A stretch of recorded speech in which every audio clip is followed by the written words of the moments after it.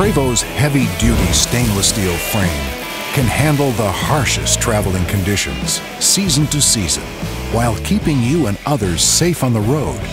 Our zero-tolerance assembly equates to precision in calibration and maintains perfect alignment and positioning while each piece of stainless steel structure is being welded. The integrated chassis built by Prevost provides the strongest, safest, and most durable structure in the motorhome industry. It's one of the reasons why Prevost shells are the top choice among converters and fleet owners across North America. Its vertical, lateral, and torsional rigidity is unmatched.